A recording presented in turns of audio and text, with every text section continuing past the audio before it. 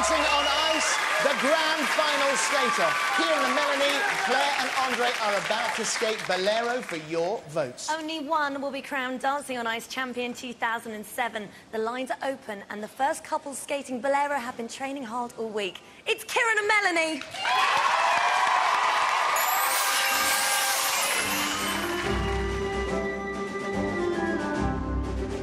In this year's final, everybody has to choreograph a bolero, and they just have to start on the knees and end up lying out like we did. But anything in between is purely their own creation. When I saw Jayne and Chris all those years ago, it was unbelievable, and uh, to be here trying to emulate what they did is just a dream come true. But Kyran seems intent on putting a very unique spin on his version of Bolero. What do you think you're going to do next? I think Kyran's body popping might not work. And he's not quite capturing the mood of the piece. It's supposed to be romantic. I'm not laughing. What's that about? You... What? Is that your romantic look? What's... We just need to work on not laughing at each other.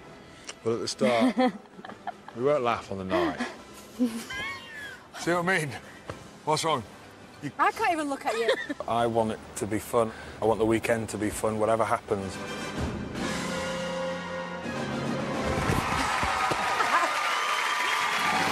Skating Bolero. To be crowned Dancing on Ice champion, it's Melanie Lambert and Kyran Bracken.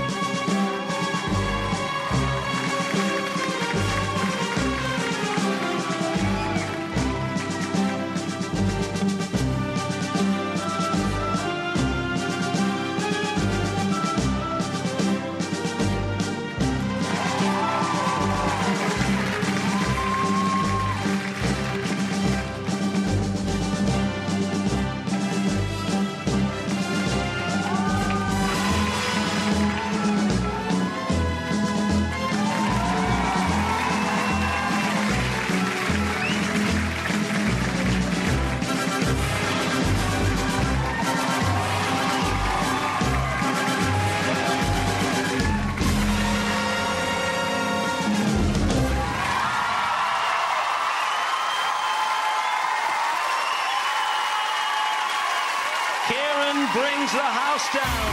It looked flawless. He likes to attack everything, but he reined himself in for that beautiful, haunting piece of music with a romantic interpretation of a classic. Has he done enough? This is the sit lift into a cradle in those lovely lilac costumes. Then the double revolving stag with the change of leg. And finally the aeroplane swoop. And they're with Phillip. Thanks, Tony. Here they are now. Well done. How was that? Oh, do you know what? That was the biggest buzz I think it was- awesome. Yeah? so cool. Feel good? Yeah, that's. I think that's.